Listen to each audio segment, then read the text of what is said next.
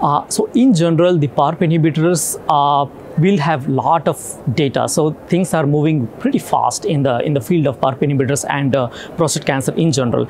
Two big things which I think when patients are on PARP inhibitors is managing the side effect profile.